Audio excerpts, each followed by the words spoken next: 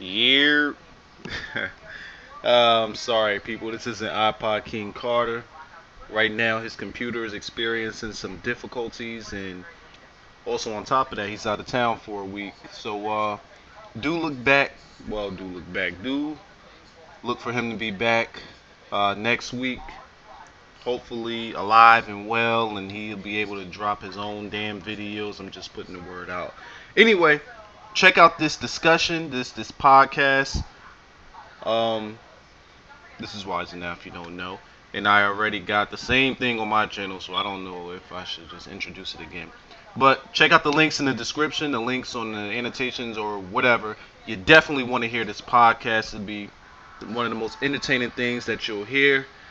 It's doing with a variety of sports, so just make sure you check it out, guys. Colts fan, wise Huh? the Colts fan. Yeah. Yeah, that was my favorite team. I'm gonna be real with it. The only reason why I'm repping Green Bay is because we won. Yeah. I- oh, I would've loved to see- Oh, shut the hell I would love to see the. I would have loved to see the Colts and Green Bay me, in game. Both teams help. It will tell you that I hate Green Bay Packers. They, I hate Green Bay, dog. Like I've always hated Green Bay ever Well, since what the Peyton hell you got your pom poms out now for then?